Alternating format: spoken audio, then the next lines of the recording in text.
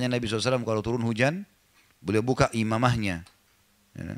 Kemudian membiarkan basah kepalanya sallallahu alaihi wasallam dan juga membiarkan sebagian bajunya terbuka. Lalu beliau berkata, air ini baru turun dari rahmat Tuhannya.